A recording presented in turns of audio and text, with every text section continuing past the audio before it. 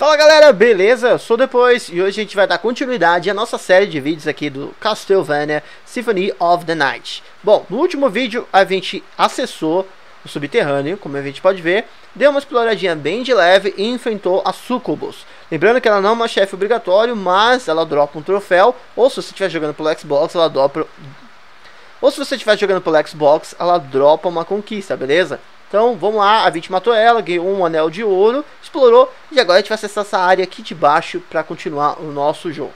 Então bora lá. Já vou pedindo desculpa para vocês caso o áudio esteja muito estranho aqui, porque tá chovendo e o meu microfone capta a chuva lá de fora, beleza? Então a Sucubus estava desse lado aqui, onde tinha um caixão diferenciado, e a gente foi lá e aceitou a lenha nela.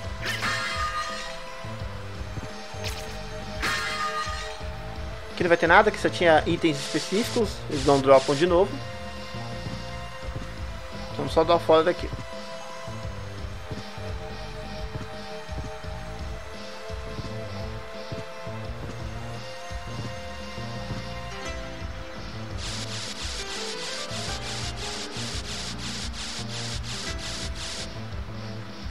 Tá, só vou completar aquele pedacinho ali rapidinho.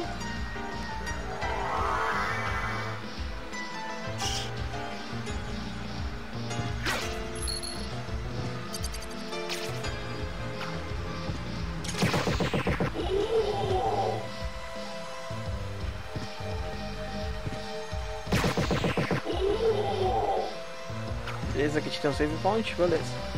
Então, ótimo. Completou, não tá marcando ainda, mas depois vai marcar. Tá meio que bugado isso aqui, não sei porquê.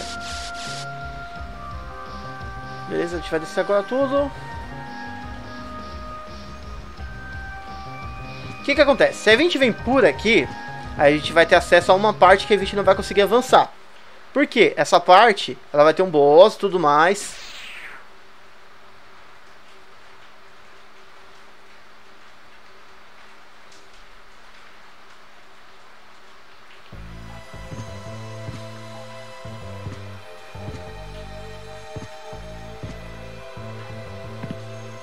Então vamos voltar por aqui. A gente tem alguns caminhos aqui possíveis pra gente. Aqui a gente vai ter o save de cara. E aqui por baixo a gente vai ter um boss. Que a gente pode enfrentar ou não agora. Aí fica a seu critério. Então a gente não vai enfrentar ele agora. Então o que a gente vai fazer? A gente vai pegar uns itens específicos que a gente vai ter aqui pra frente. Que vão ajudar a gente a conseguir pegar outros itens aqui do jogo. Então vamos lá. Vamos avançar aqui, empurrar essa caixa para poder matar os bichos que estão ali. Ó. Afinal, o demônio morre com água benta, né? Nossa, a gente ver.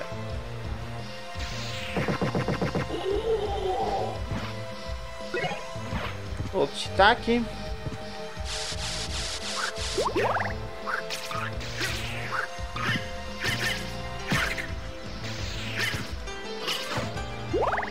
A gente não pode entrar na água, senão a gente toma dano ainda. E a gente vai pegar justamente o item que vai evitar que a gente tome dano ao cair na água.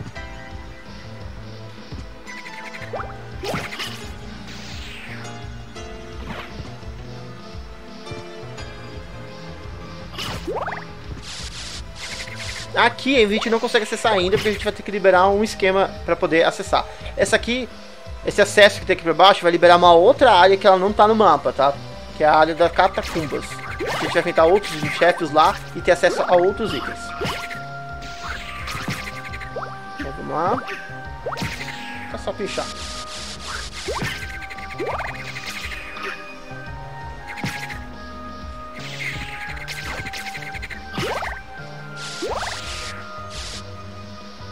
Não vale a pena pegar esse item agora, tá? Tomar dano, a gente pega depois. Aqui é a área da cachoeira. Então o que a gente vai fazer? A gente vai simplesmente cair em vez de acessar ali agora. Depois a gente pega os itens que a gente tem que pegar e pronto. Vamos pra cá, pra esquerda. Só pra lembrar, a gente tá aqui embaixo, ó. Então vem, continua.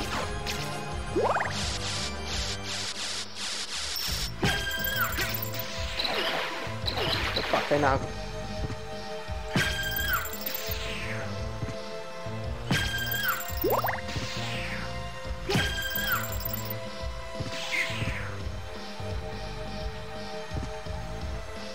Vamos pegar os itens que tem aqui em cima. Aqui, se a gente seguir por essa parte, a gente vai sair bem lá no começo do jogo. É basicamente onde a gente acessa a primeira área, um pouco antes da gente perder as armas originais do Alucard. Então a gente vai voltar aqui depois, tá? E pronto. Aqui a gente vai encontrar o barqueiro pela primeira vez e a gente vai pegar um item específico que vai fazer ele aparecer em outra área, muito importante pra gente, poder pegar um item que vai fazer a gente respirar debaixo da água e não tomar dano.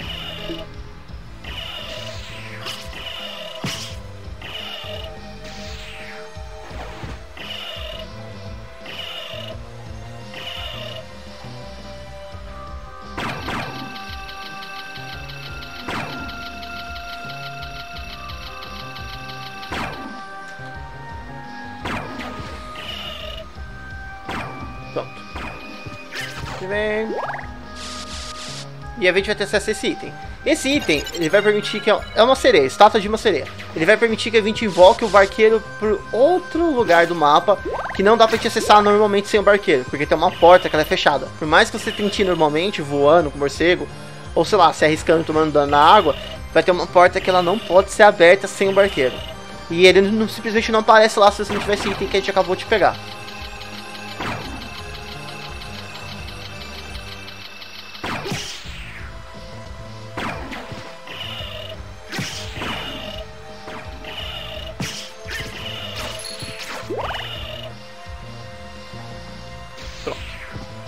Foi rápido. Esse bicho aqui, ele dropa uma arma legal, que é a Ice Brand, eu acho. É boa, ela dá um dano legal.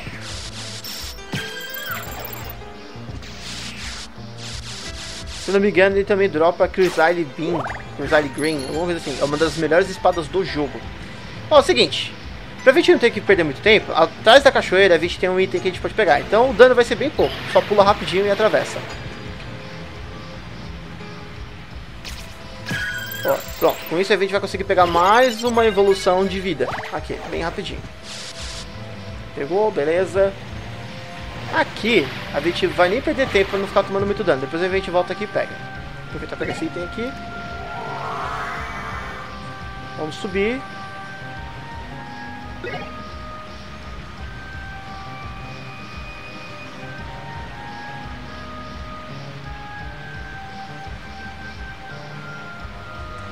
Então vamos aproveitar que a gente está aqui, já vamos abrir esse caminho aqui e pegar o escudo novo. Então quando a gente apertar, ele vai aparecer uma mensagem pra gente. Ó, o bicho lá atacou, o barril de pólvora estourou. Então tá falando, alguma coisa está acontecendo na ponte de madeira. Na próxima ponte de madeira. Então aquela ponte que a gente atravessou que não dava pra acessar, ela era madeira. Agora quando a gente apertou, vai aparecer um bicho desse daqui pra gente e destruir a ponte pra gente poder acessar. Mas a gente não vai lá ainda, a gente vai lá daqui a pouco. Beleza.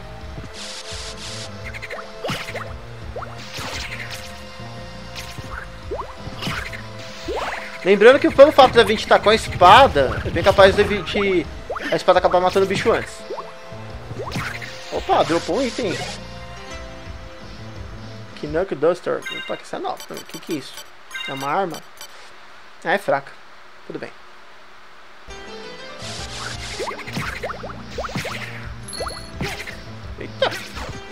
Então beleza, tá aqui, depois a gente acessa a área. Quando a gente voltar, o bicho vai estar tá pra cá. Aí a gente vem trazendo ele até ele jogar o barril ali. Mas ainda não é o caso.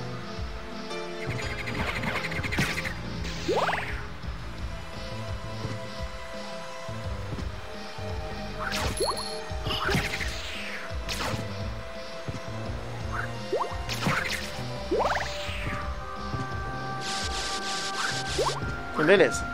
A gente vai ter o caminho pra cá. Deixa eu ver.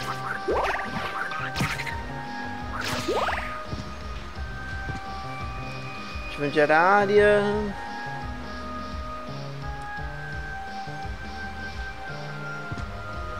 Que é o save, já vamos dar o save, por sinal.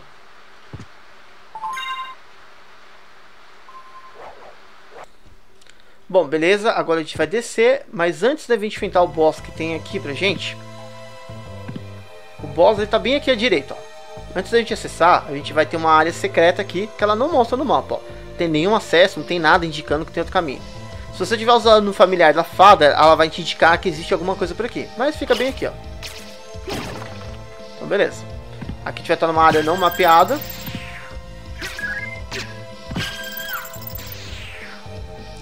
E pronto.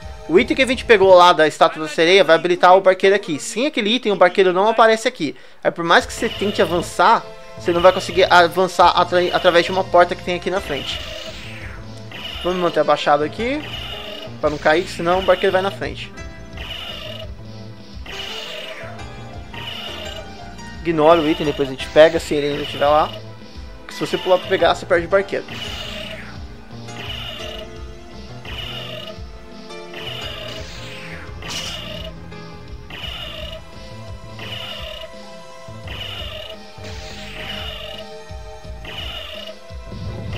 Bem aqui, ó. Sem o barqueiro, essa porta não abre. E sem essa porta abrir, você não consegue pegar o item que a gente precisa aqui, que é pra respirar debaixo d'água.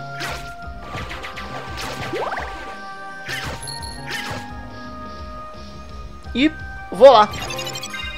E a gente acabou de ganhar um troféu também, ó. Bom que já troca o troféu. Então a gente agora tem o item específico pra gente poder respirar debaixo da água. Então tá aqui, ó. Com essa estátua a gente liberou o barqueiro nessa área e conseguiu o item para a gente respirar debaixo d'água. Deixa eu só achar ele aqui. Cadê? Aqui, ó. Símbolo sagrado. É basicamente aquele negócio que você coloca na boca para respirar debaixo d'água, que eu não lembro o nome, como é que é. Então agora a gente já não toma mais dano ficando debaixo d'água. Ó, tá vendo? Não toma mais dano. Com isso a gente consegue explorar outras áreas mais específicas do jogo. Por exemplo, aqui ó, barqueiro caindo. Ainda pega itens, que tem coisa debaixo d'água e completa o mapa também, né?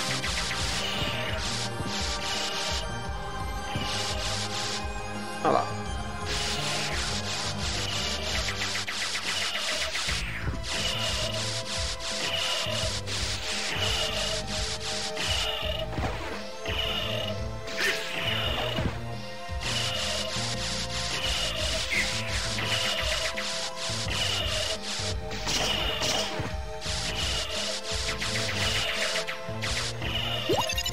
Já ganhei uma upgrade de vida, interessante, ajuda.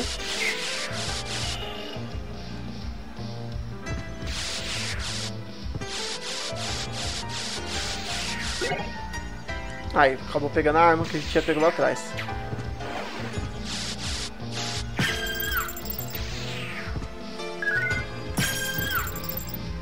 Então beleza, a gente pegou o item, agora sim a gente pode vir enfrentar o boss que tem aqui na direita.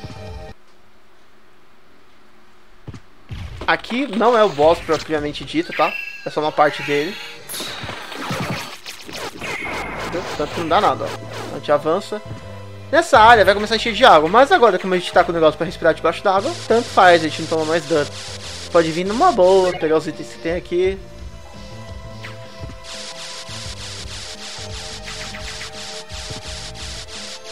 Até pegar a espada que tá aqui. Essa espada provavelmente ela é mais forte. Mas eu não vou equipar porque eu ainda estou gostando da habilidade. Ih, até mais fraca ainda. Eu curto a habilidade da arma que eu estou usando agora.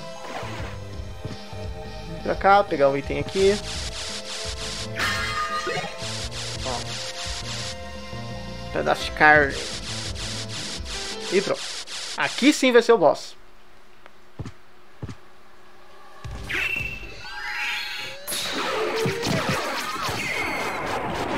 Velho, morreu. Fucking.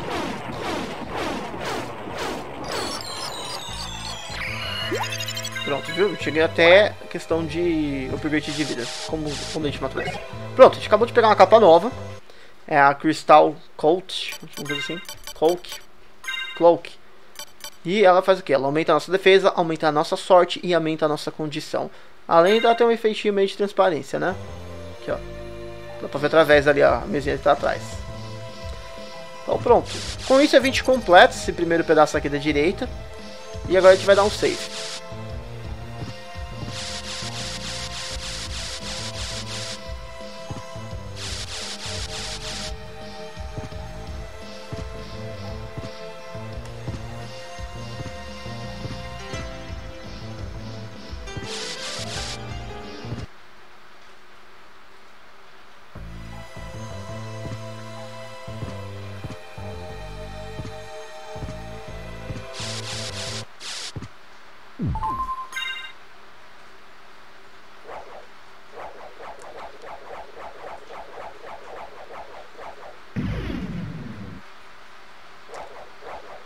Bom, galera, a nossa parte 13 é isso. A gente fica por aqui. A gente foi, acessou essa área, pegou a estátua da sereia, acessou a área secreta, pegou o item para respirar debaixo da água, matou o boss que tem aqui, pegou a capa de que tem uma invisibilidade no efeitinho da de transparência e aumenta alguns atributos.